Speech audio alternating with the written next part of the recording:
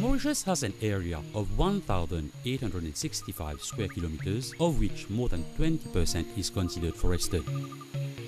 The area of good quality native forest is estimated to cover less than 2% of the island. The flora of Mauritius is particularly diverse and 691 species of indigenous flowering plants have been recorded, of which 273 are endemic to Mauritius and 150 endemic to the Mascarene archipelago, and 61 of the country's native species are already classified as extinct. Mauritius is being considered as the third most threatened island flora and the second highest endemism in the world. Vallée d'Osterlog Endemic Garden is like a small jewel of biodiversity and is one of the lost preserved nature sanctuaries in the island. It is located in the southeast of the island, nestled in between Mountain La Grave and Mountain La Selle, which form part of the Creole mountain range. Its ascension will unveil a unique, breathtaking panoramic view over the center and south of the island. The higher you go, the further you'll see.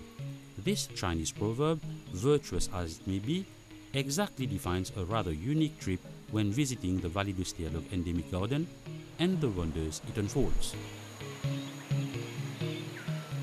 The valley is a natural heritage and has a magnificent picturesque landscape with an emerald green of an authentic native forest.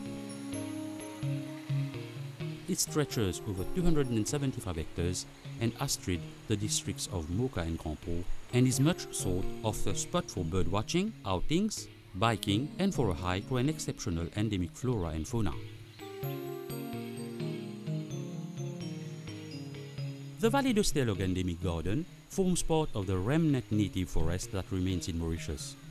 It contains pristine areas covered with adult specimens of rare endemic and indigenous flora.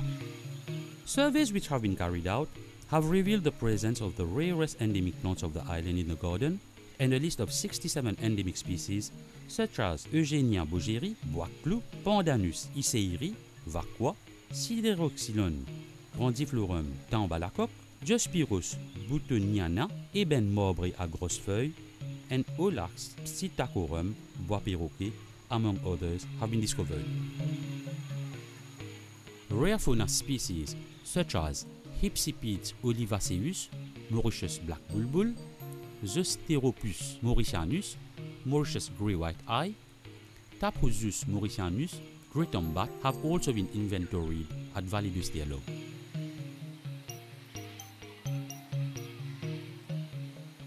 The Foundation is confident that a complete inventory over the whole area will reveal the presence of other rare endemic species.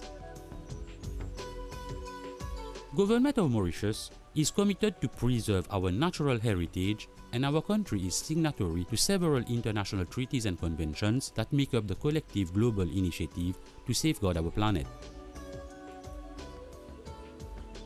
Mauritius is the first country in the world to sign and ratify the Convention on Biological Diversity in September 1992 and the setting up of Vallée d'Osterlog Endemic Garden Foundation for the conservation of the endemic flora and fauna of Mauritius is a very good example of our endeavor to ensure that all Mauritians have a safe and healthy environment and that the uniqueness of our precious country is protected for prosperity.